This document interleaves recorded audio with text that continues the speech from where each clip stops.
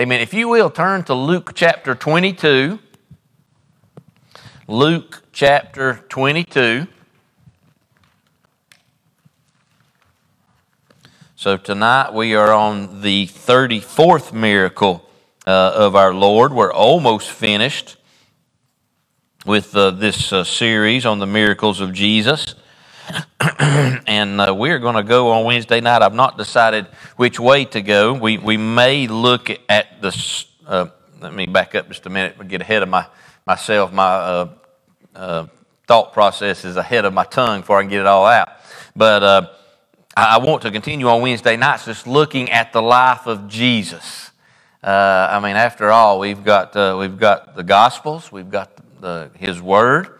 Uh, and uh, we should study the life of our Lord and learn as much as we can about the life of our Lord. So, uh, after this, I'm not sure where we're going. We may look at the parables of Jesus. I think that would be something good to look at. I'm still praying on it. Uh, or we may just look at the sermons uh, of our Lord. Uh, so, but tonight, we're on this 34th miracle, which is just a it's a wonderful miracle to look at, and I hope I can do it justice tonight as we as we really uh, as we really look at this. So, this is the healing of the high priest servant. It's the healing of the high priest servant in the Garden of Gethsemane, and that servant's name is Malchus.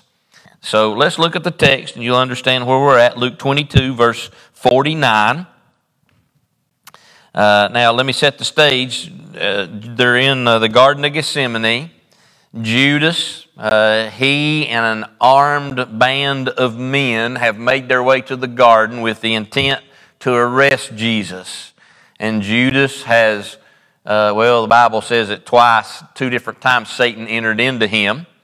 Uh, and so he is being used of the devil. He had a chance in the upper room uh, when the Lord uh, let the disciples know that I'm about to be betrayed, and woe to that man who betrays me. So Judas had a chance in the upper room to repent, but his course was already set, greed was in his mind, and Satan had twice entered into him. So Judas and a band of men, they're, waking, they're making their way to the garden. They come into the garden, and Judas has said, now, the one that I kiss, that's Jesus. That's the one you need to arrest. Uh, and so they come into the garden, and there is the Lord. There's an, an encounter, an exchange of conversation, and Judas kisses the Lord. And then they reached and lay hands on Jesus. So let's see what happens. Luke 22 49. When they which were about him saw what would follow, they said unto him, Lord, shall we smite with the sword? And one of them smote the servant of the high priest and cut off his right ear. And Jesus answered and said, Suffer ye thus far. And he touched his ear and healed him. And then Jesus said unto the chief priests and certain of the temple and the elders which were come to him, uh, Be ye come out as against a thief with swords and staves? When I was daily with you in the temple, ye stretched forth no hands against me, but this is your hour and the power of darkness. Uh, and so, uh, so there's that miracle. So they, they come into the garden. Judas betrays Jesus. Uh, it, it's, it's kind of funny as we read about Peter here. Peter is the one that cut off Malchus, the high priest's servant, his ear. Uh, now, uh, this, this, uh, this story is recorded in all four Gospels. So, to get the whole picture, go read all four Gospel accounts. Luke, however, is the only one that records the healing of that ear. See, Luke is a physician. I don't know if you remember that or not, but he is a physician. That's why when you read the book of Luke, the Gospel of Luke, you're going to see details fine details. He doesn't just write in general, or he doesn't just write in black and white or even gray.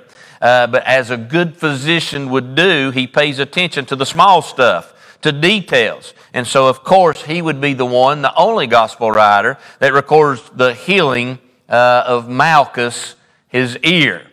Uh, but it's so interesting. We see, a, we get a little picture of, of Peter in this picture, of Simon Peter, because uh, we see the disciples say, Lord, shall we pull out our swords and our knives? Uh, and it is if they don't even have that out of their mouth when Peter he has already drawn his sword uh, and he makes a swing at Malchus, the servant of the high priest.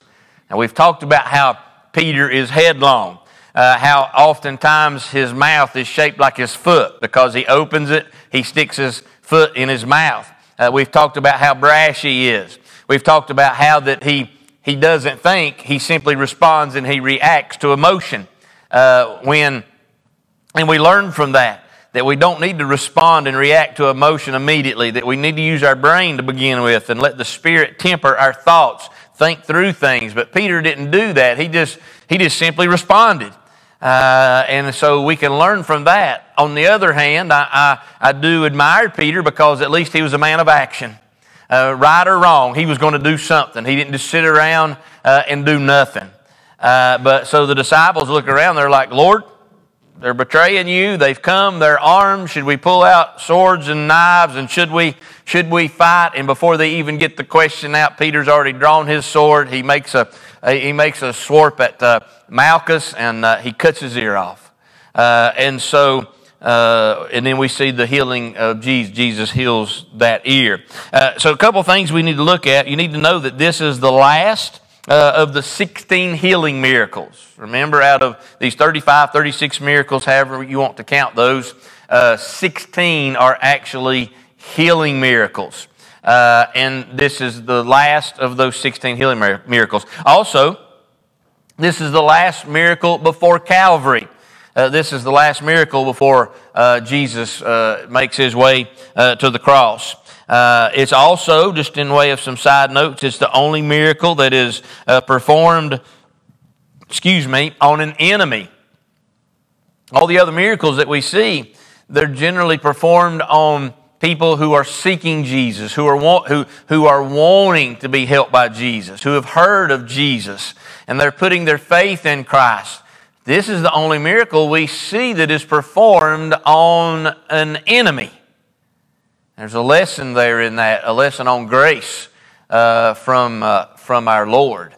And uh, let me say this just in way of that. The best thing you can do for those who consider yourselves, those who consider themselves your enemy, I know you love everybody and you don't have enemies, but there's people that may not like you uh, and they would consider themselves your enemy. The best thing you can do for them is, of course, pray for them, absolutely, uh, but also is just to love them.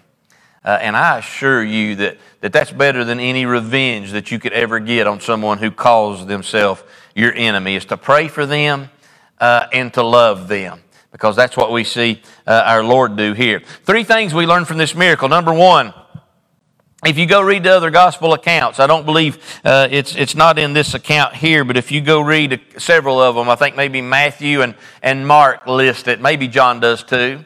Uh, but one of the things where you're going to see is you're going to see uh, a little known role of the Lord and Savior Jesus Christ. It's little known, but it is so, so important. Uh, so we learn from the other writers as they write about this uh, passage so, what Jesus says to his disciples when they say, Hey, uh, should we pull out our sword and our knives? And Peter takes his out and he actually puts it into action, cuts off the ear of the high priest, Malchus. Uh, and our Lord says, Wait a minute, wait a minute, wait a minute. Put, put all that away and stop right now. He says, Look, I, I don't, I don't need you doing that for me. Uh, he says, In fact, he said, All I had to do was say the word, and I would have had 12 legions of angels here defending me and fighting for me. That's 72,000 angels that he could have called just at a thought to defend himself. So what this little, uh, this little known or often overlooked role that Jesus has is, is that he is the supreme commander of all of heaven's armies. In fact, uh, the Old Testament, he is called the captain of the Lord's host. Uh, and so uh, we see that as the captain of the Lord's host, the Lord's host is all of heaven's armies all of the angels uh, in heaven. Uh, and, uh, and so Jesus says, Look, he says, at any moment I could have called and had 12 legions of angels come and rescue me from this whole entire situation. They would have fought for me and I wouldn't have had to fight at all. But I didn't. And I want you to notice that he did not. And the reason he did not is because uh, he come uh, not uh, as we study this, we, we, we see that he came uh, to die for sinful man, not to destroy sinful man.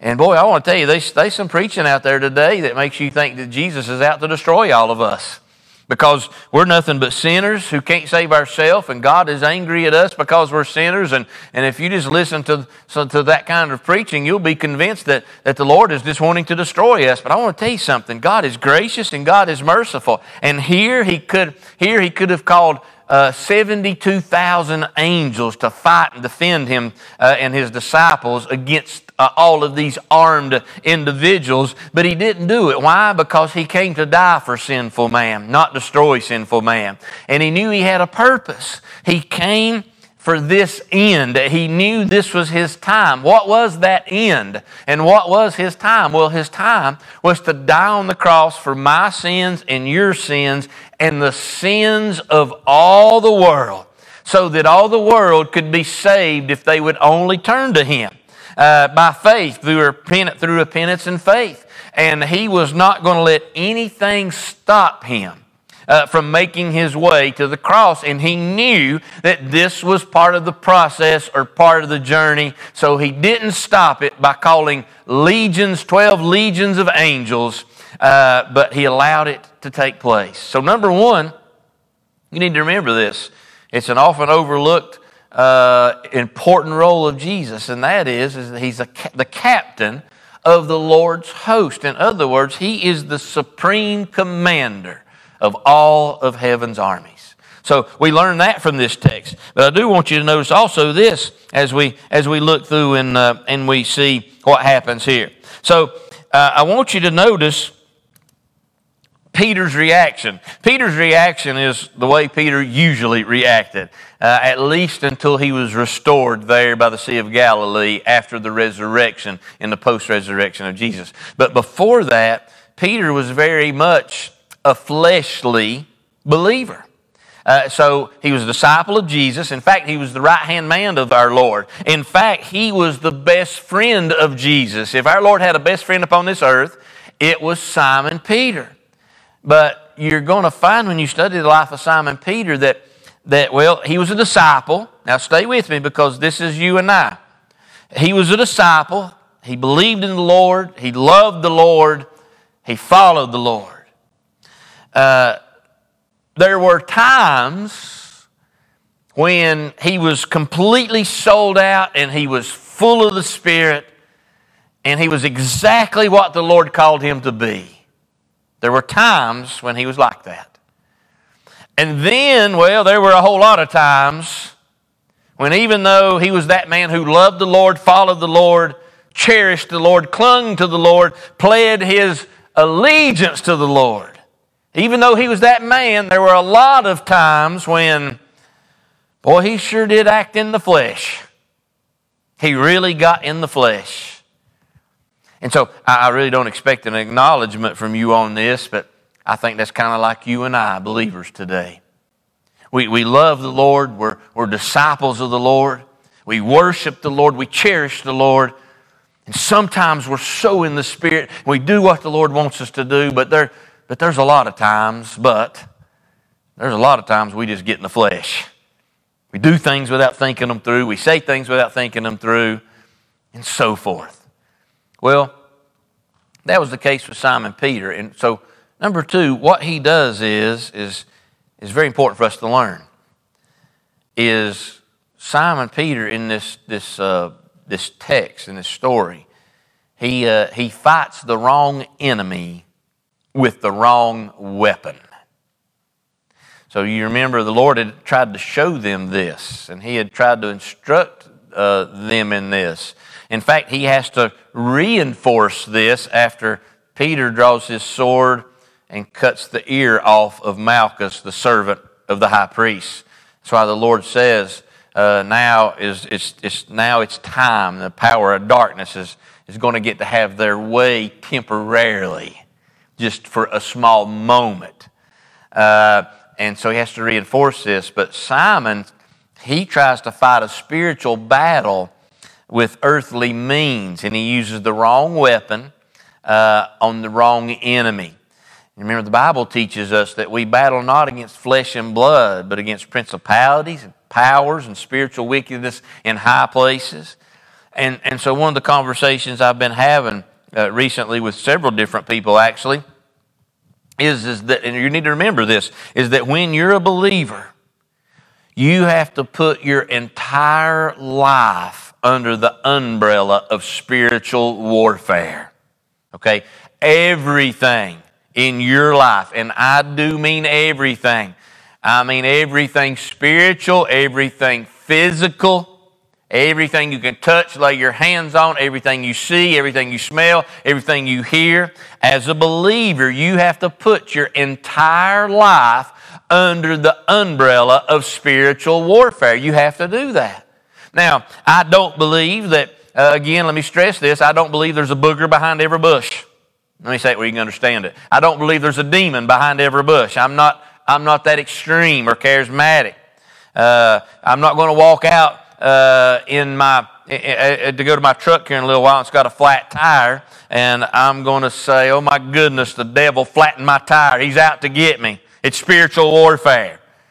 No, it could be just that the guys that put on my vinyl siding were very careless and they left nails all around my garage and my sunroom. And uh, one of them finally got blew into the driveway out of the grass from my mower, and I ran over it with my truck. So it didn't have nothing to do with the devil. It had everything to do with the guy who did my vinyl siding, not picking up all the nails that they, that they left. Uh, and so I don't believe that there's a devil behind every bush. But what I do know and what I am certain of is that as a believer, we have to put our whole life under the umbrella of spiritual warfare. And we've got to remember that we don't battle against flesh and blood. Listen, we've got to, we've got to remember that our, our, our battle is not between me and you. It's, it's not between you and, a neighbor that you're having a battle with, or a coworker that you're having, or a classmate you're having a battle, whatever the case may be, or you and a child, or you and a husband, or you and a wife, or whatever the case may be. No, no, we battle not against flesh and blood, uh, but against uh, principalities, powers, spiritual wickedness in high places. What does all that mean? That just, that's just the ranking of demons and hell's army. Uh, they have a rank and file system. They have battalions, they have companies, they have platoons, they have squads, squad leaders, platoon leaders. They have people that rank over uh, all of that. Hell's, armies, Hell's army does. And so, what Peter failed to realize is hey, this is not a physical war to be fought with tools of the trade in this physical world. I can't fight this battle with a sword I hold in my hand that's made out of metal and is sharp on both sides. No. Uh, and Jesus reminded him of that, that we battle not against flesh and blood. We battle not against flesh and blood. We battle not against flesh and blood. Yes, the devil uses people to attack us many times. He uses people to cause trouble in our lives. He uses people to disrupt the church. He uses people to destroy the church, even. And we have to recognize that. Uh, but the battle is not against flesh and blood. It's against the forces of darkness. And so Peter, he attempted to fight the, uh, the wrong enemy with the wrong weapon. And what he should have done was, because our Lord had already given this example, he should have fought the enemy with the Word of God.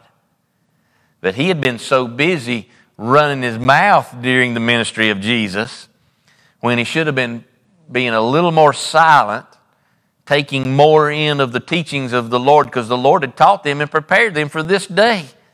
In fact, the Lord had told them, watch this, the Lord had told them over and over, I'm going to be arrested at the hands of angry men.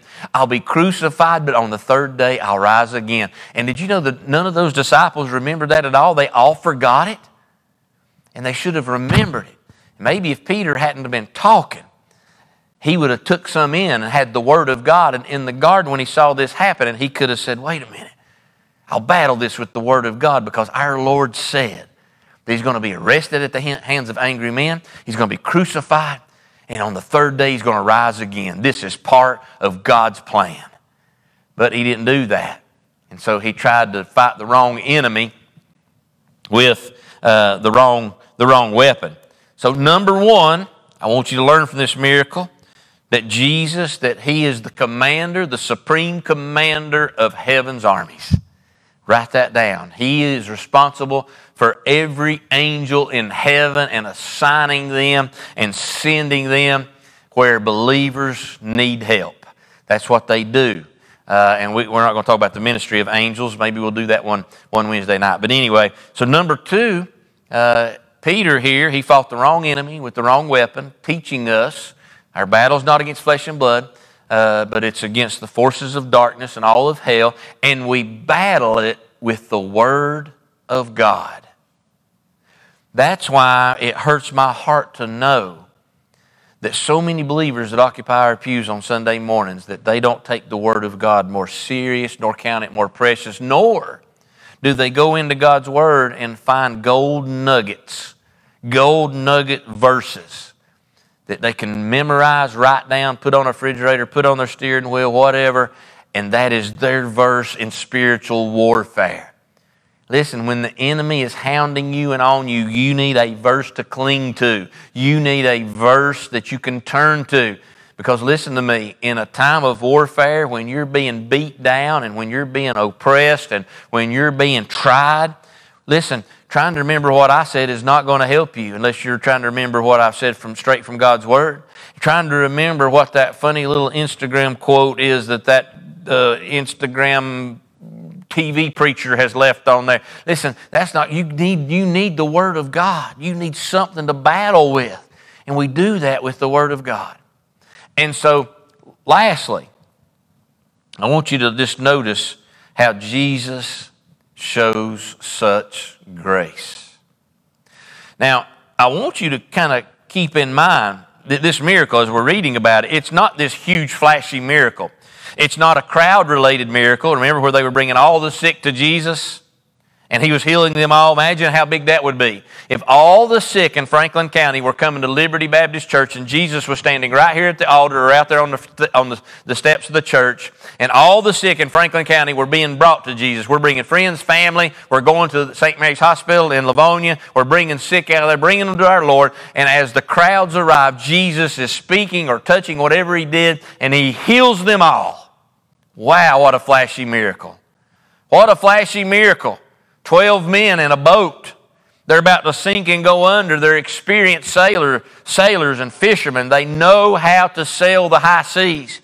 They've done everything they can do. They can't save themselves. They're convinced they're drowning. They cry, and the master comes walking on the wind, uh, walking on the sea, calming the wind and the waves. What a what a flashy miracle! What an attention getter!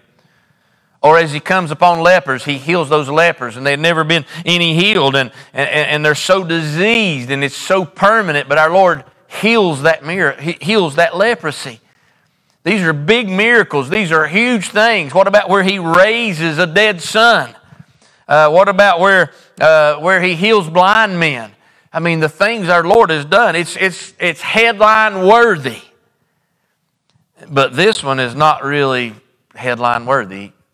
Peter cuts off Malchus, the high priest's ear. Jesus picks it up and heals it. But imagine this. Just go into, let your mind, the details are not all there, but we can kind of know how this goes.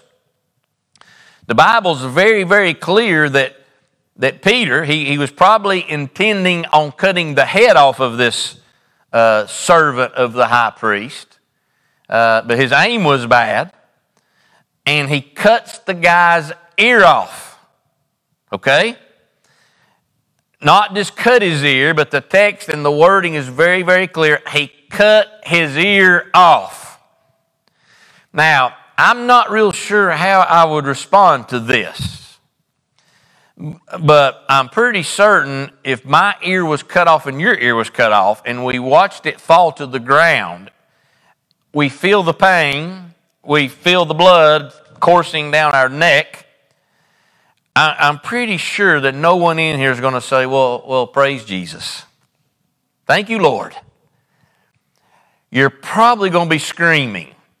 I've seen grown men scream. I've seen grown men cry from injuries.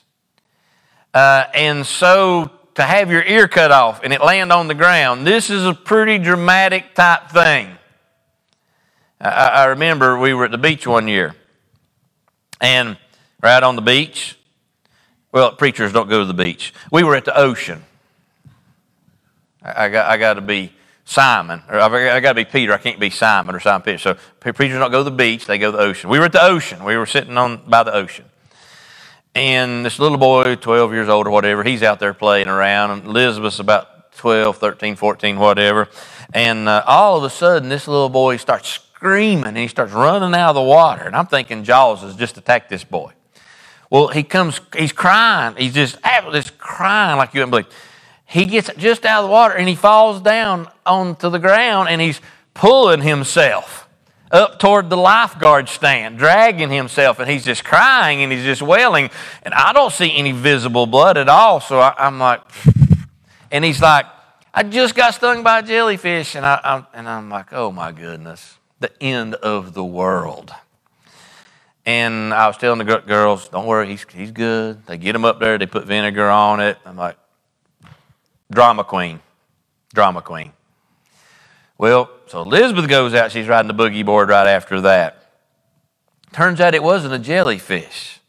Turns out it was a Portuguese man of war. And it wraps itself around her legs, completely around both legs. And for years after that, for years, she had scars that looked like whelks that went all the way around both of her legs for years. And so she come out crying, and I'm like, suck it up, Buttercup. It's just a little jellyfish thing. Get over it. Uh, and when she come up there, she had a pretty severe reaction to it. And so I realized that it was a lot more serious than what it initially looked like. Well, listen, this right here, this is serious. This is a serious deal. His ear is cut off, detached from his head. It falls to the ground. But watch what Jesus does. This is his enemy. And chances are there was such a crowd in the garden that night that many people there probably didn't even know what our Lord did. But our Lord showed grace in that when that ear was cut off, He simply reached down, picked it up, reached up, and put it right back on that man's head, and He healed that man. And that's all that was said about it. That's all we see recorded about it. Jesus picked his ear up, put it on the side of his face, healed him, and then the events went on.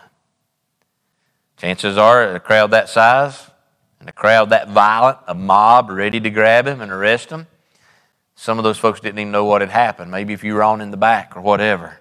Maybe you were a lookout. I don't know what the case was. But this man was nevertheless part of a mob that, well, was considered themselves enemies of Jesus. But look what our Lord did he showed grace. I often wonder how different the world would be if we, if just we as believers, if everyone who says they were, they were believers, if we would show grace to people around us, to people we deal with every day. You know, sometimes some of the meanest people I've ever been around since I've been walking with the Lord. It's been believers. It's not been unbelievers. But some of the meanest, most rudest, most short tempered people I've ever been around have been believers. And it's kind of ironic because we as believers, we've been shown such grace from our Lord and Savior, Jesus Christ. Every single one of us, we don't deserve the grace that He's given us, whether He saved you off of a church pew or He saved you off of a bar stool. He's nevertheless give us all the same amount of grace. And what an example to us that every day that, that we need to show grace. In fact, listen, you can write this down because it's going to be true what I'm about to say. There are going to be people who will do the wrong things towards you. There's going to be people who will say the wrong things towards you or about you. Uh, there's going to be people who don't like you and who hate you and who demonstrate that towards you sometimes every day. You're going to cross paths with people like that in life. There's going to be people, and I don't get this, I honestly do not get it at all. But there's going to be people who, who have ill will towards you and they act out of spite. And, and I don't know what spite is. I, I think the definition of spite in my book would be that you plan on doing harm or ill will towards somebody, where you actually take time to plan that, and then you're spiteful in that process. There's going to be people who do that stuff. You can guarantee that's going to happen. Not everybody is going to love you nor kiss you on the cheek, and some that kiss you on the cheek are betraying you and are, you, are your enemy. The Lord already said that in Proverbs. He said, Faithful are the wounds of a friend, uh, but the enemy, well, he kisses you. That's what happened here with our Lord. But you can write all that down. That's going to happen. There's going to be people like that. You can write it down. They're going to say things to you to hurt you, they're going to do things to hurt you. But also write this down. How did our Lord respond to his enemy? He responded with grace. Such such grace. I know it's not natural, and I don't know about you, but in the natural man, I'm a fighter. In the natural man, I'm not going to be pushed around. In the natural man, you're not going to speak wrong to me. In the natural man, I'm going to deal with it. In the natural man, I'm going to handle things. But see, the Lord has saved me. So I can't live in the natural man anymore or the fleshly man anymore. I have to live as a spirit filled man. And so, as a spirit filled man, what I have to do is, is I have to show the same grace that our Lord showed. I, I told you Sunday morning about a man who, who caused much, much trouble for me for, for a couple years in ministry. I'll never forget one night we left the service, and listen, heaven had fell that night. I think there might have even been a couple people saved and people all over the altar weeping and crying. God was just truly moving. And I don't remember how we wound up there, but we wound up kind of at a side door in the, toward the back of the church, and he was leaving, and and uh, I was still there. I guess maybe locking up, whatever. and he he was so angry. He was so mad that night. He was wanting me to leave, and I wasn't leaving, and God was just blessing. And he was so, so angry, and his face was red, the veins on his neck was sticking out. And I honestly, I thought in my mind, he's going to have a stroke. In fact, he did have a stroke just a couple weeks after this, but I thought he's going to have a stroke right here in my face. And by God's Spirit, and you hear me when I say this, because I don't want you to think I'm bragging on me. You, we need to be very clear about this but by God's Spirit in me, I was able to look that man in the eyes that night and I called him by name while he was just berating me. And I called him by name and I said, Mr. What's his name? I love you. And when I said that, his face got redder and he got madder. I for sure thought he would stroke out right then. And he kept on for just a minute, and I said it again. I called him by name and said, I'm telling you, I love you.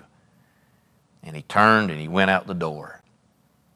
And I, I hope my reaction would always be that way. And it should be if I stay spirit filled.